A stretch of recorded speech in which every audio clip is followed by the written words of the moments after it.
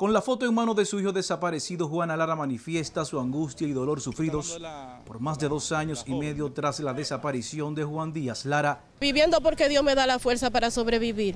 Dos años de incertidumbre, de tristeza, de dolor. Piden que sobre el caso se investigue una mujer que no identificaron quien alegadamente había invitado al fotógrafo a un resort. Ellos saben bien claro quién es, que es una mujer que le había hecho una propuesta a mi hijo y la mujer anda ahí, ellos saben quién es y ellos no la quieren tocar para nada. Pero ella fue a hacerse una sesión de fotos al estudio. Le pedimos al jefe de la policía que la interrogue a ella, que la investigue a ella y que ella diga dónde está ese señor, que es el que nosotros realmente queremos que se investigue, porque él era el que estaba interesado en que él vaya con él.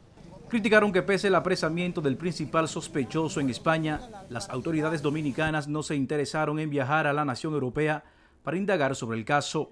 La Interpol muy interesada, presa a la persona en España, lo mantiene en la cárcel y aquí había que formar una comisión para viajar allá para interrogarlo, para que arrojara informaciones de dónde está realmente eh, eh, eh, el fotógrafo. Familiares de Juan Díaz Lara se quejaron de que pese a las pruebas aportadas a la Policía Nacional y la Procuraduría sobre los implicados en el caso, el mismo se mantenga estancado. Rentería Montero, Super Noticias.